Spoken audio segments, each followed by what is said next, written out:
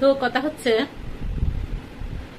আমাদের চলমান জীবন যাপনে আমরা পথ চলতে চলতে হাজারো স্বপ্ন দেখব, হাজারো স্বপ্ন ভাঙবে।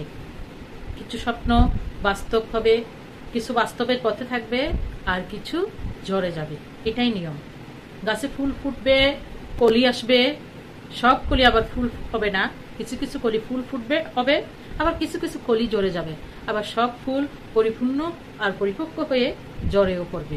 এটাই নিয়ম, এটাই বাস্তবতা। আমাদের জীবন চলার পথে আমরা স্বপ্ন দেখব, প্রত্যাশা রাখব, আর স্বপ্ন পূরণের চেষ্টায় আমাদের কাজ চালাবো, আমাদের জীবন যাপন করব।